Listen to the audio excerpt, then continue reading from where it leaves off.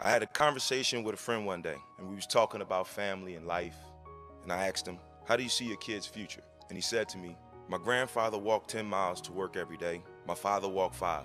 I'm driving a Cadillac. My son is in a Mercedes. Said my grandson will be in a Ferrari. But he said my great-grandson will be walking again. So I asked him, I said, well, why is that? And he said to me, tough times create strong men. Strong men create easy times. Easy times create weak men. Weak men create tough times. He said to me, Many will not understand, but you have to raise warriors.